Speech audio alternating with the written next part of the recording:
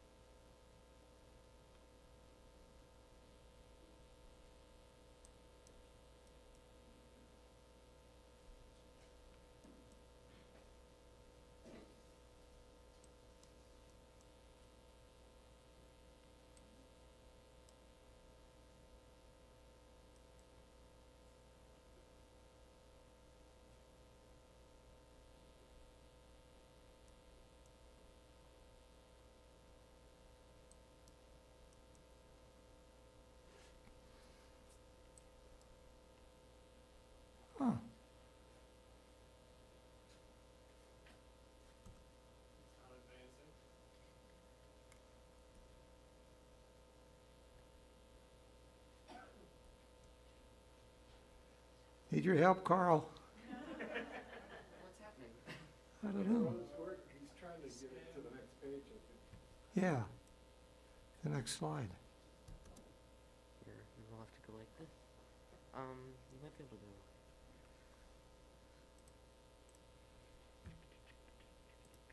Oh, that's not gonna work. You back out Yeah. there you go.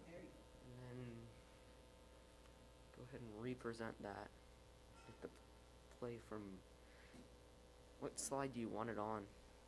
The first one, and then the the next one is right behind it. But I don't want to go through all of this. Well, I don't know where the slide that you want is. at the top, Oh, well then you gotta go through all that. You gotta, there. yeah, So then play from current slide. yeah.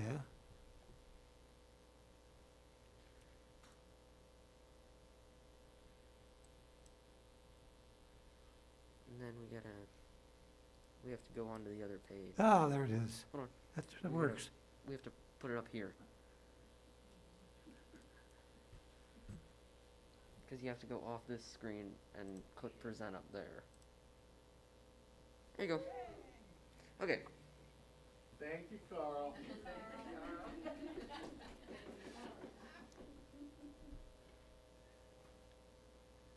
Whenever I need help, I go to my grandchildren.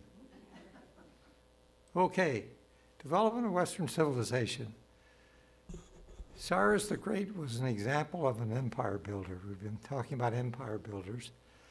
And he founded the Persian Empire in fi- fi- 550 BC.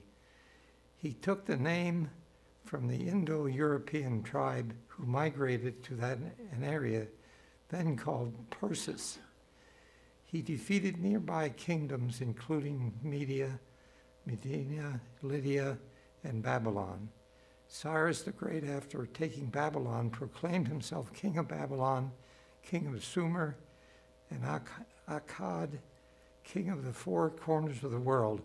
And there wasn't anybody there willing to challenge him in the other kingdoms. So they just settled in. And that became the Persian Empire. Now, the Persian Empire became the world's first superpower, stretching from Europe to the edge of India. It encompassed the areas of modern-day Iran, Egypt, Turkey, and parts of Afghanistan and Pakistan.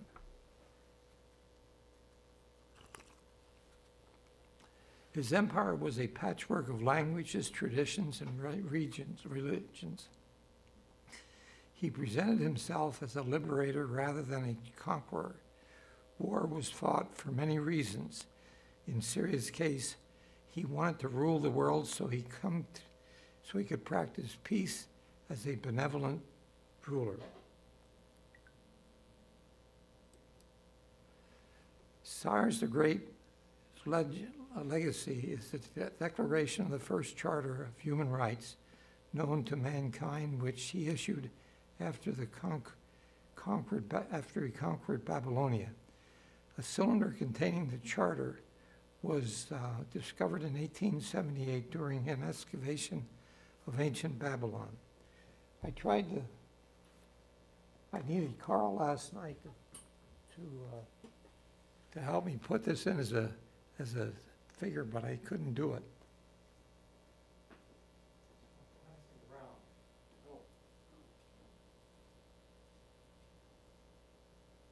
That's what it looks like. And I don't know how they figured out what it said. I got that, uh,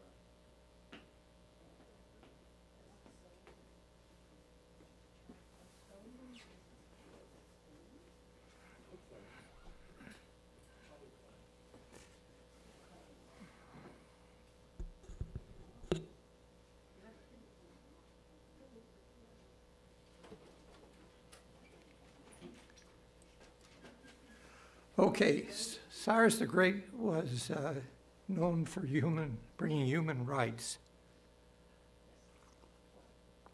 In this charter, Cyrus promised to treat all the inhabitants of Babylon and other kingdoms he conquered with respect. He swore that he would allow all inhabitants of his empire to practice their own religion and social customs without persecution, persecution. Cyrus also promised to punish anyone who acted cruelly to the religious and social minorities in the, his kingdom. Cyrus had no thought of forcing conquered people into a single mold and had the wisdom to leave unchanged the institutions each, each kingdom he attached to his Persian crown.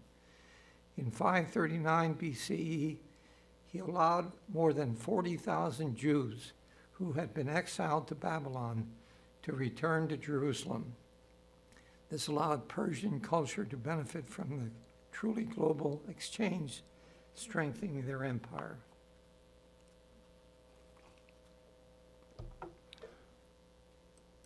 Now,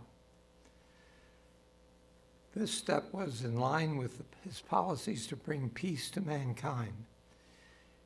A new wind was blowing from the east, carrying away the, the cries and humility, humility of the defeated and the murdered victims, extinguishing the fire of sacked cities and liberating nations from slavery. Now, I put author's comment. I am impressed with a leader who has a vision to end war. Why is this significant? Because this laid the foundation for the war we are still fighting today in the Middle East. When the 40,000 Jews returned to their homeland and they found their inhabitants had been taken over by their non Jewish neighbors, the Palestinians. This was the beginning of the dispersion of the Jewish population to other lands, and that's how the Jews spread all over the world. And that's how it all began. Darius the Great became the ruler of the Persian Empire in 522 BC. He organized the empire into provinces. He was known for his administration genius his great building projects, and his benevolence. Like Cyrus the Great, toward the diverse people under his sovereignty. His policies and building projects helped fortify the vast empire and entrances trade throughout. So he, he kind of started the trade routes so that they could move things from, this is the beginning of the, the Silk Road. Um, which connected the Asian continent with the Western continent and the Middle East in between it. And that's why we're still fighting over this.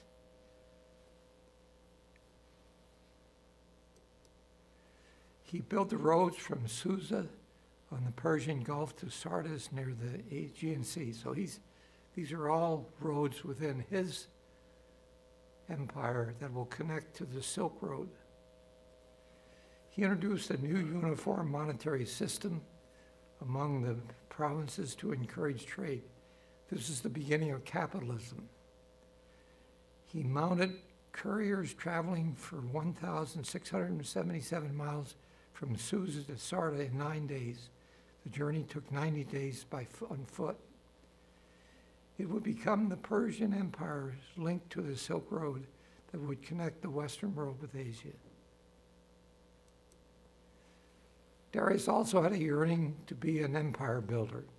He led military campaigns in Europe, Greece, and even in the Indus Valley, conquering lands and expanding his empire.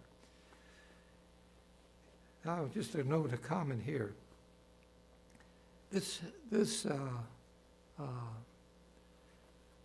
what, what you're seeing happening here is, again, the reinforcement of the Middle East that's going to connect Asia and, and Western Europe and ultimately the, the United States. So the Persian Empire attached, attached from the borders of the Indian, India down through Egypt and up to the northern border of Greece. India became kind of the division between East and West. And we're going to talk about the different religions that they had later on. Today we know this is the Middle East. Darius the Great reign lasted 36 years from 522 to 486 BC. During this time, the Persian Empire reached its peak. The Persian Empire lasted about 200 years. And the scary thing about this is, you know, if you look at anything that followed after that, the British Empire, it lasts a little bit longer. But you can, you can make wrong decisions that end a great empire. Now, when we think of ancient Mesopotamia, Greece, and Egypt, we think of polytheism. They worship the seven, seven major gods and thousands of minor gods. each Mesopotamian or Egyptian city-state, whether Sumeria, Arcadia, Babylonia, or Assyria or Egypt, had its own patron gods or goddesses. So here you have the, most of the world kind of living in polytheism. And then you have the, the Jews starting to try to develop monotheism. Well, it took centuries for this region of the world to come up with a brief uh, belief in one God in the teaching of Zarathustra. And it became Persian state religion. Remember, there's ruler, rule in religion. So, so you see the development of the, of polytheism versus monotheism. Well, it took centuries, oh, 3,000 years ago, a powerful creed emerged in ancient Iran that was called Zarathustra. A powerful creed emerged in ancient Iran when it found Zarathustra in around 626 BC, uh, began uh, uh, emulating Judaism. So they started to move in Persia toward one, one God. Now, religion in Persia, monotheism and teachings about one good God, they call him Ahura Mazda. An elusive figure in history, Zarathustra became becomes clearly visible as the center of monotheism faith who influ- whose influence on other major religions to come later in, is undeniable. Common belief concepts and lessons are plain to see in the doctrines of Judas- Judaism, Christianity, and Islam. So ultimately, this Zarath- Zarathustra, and, and they're still existing, but ultimately that's split into Islam. Now, I'm- going to call them Zara and Zorro. Um, Zara taught that knowledge concerning the judgment of man's souls, the reward of- and punishment, good and bad actions, and the eventual purification of the world. So, kind of like Christianity. Um, the father of the Persian king Darius the Great made Zara's religion become known as Zoroastrianism, the state religion of the 6th century BC. So it's Persia's uh, state religion. Zoro gained popularity in Persian empires and began to spread in earnest to a wider world in the 6th century BC. Zoro dominance persisted for centuries, but became a rapid end after the Arabs conquered in the 7th century. Uh, now has, the, has estimated 100 to 200,000 worshippers worldwide, and the practice today is a minority religion in parts of Iran and India. Um, Neil, uh, when we took over the plant in India, um, not the Tatas, but the people who ran the, the plant and and Tata Steel were, were uh, part of that religion. They were called Parsis. Parsis are the main followers now of Zoroaster and. According to Parsi tradition, a group of Iranians, Zarathustrians, emigrated from Persia to escape religious prosecution by the Muslim majority after the Arab conquest. So now we're talking about the creation of the Western, of uh, Islam. The Parsis are the, are an ethnic minority in India and Pars- in Pakistan today. About 60,000 Parsis are in India and about 1,400 in Pars, uh, Pakistan.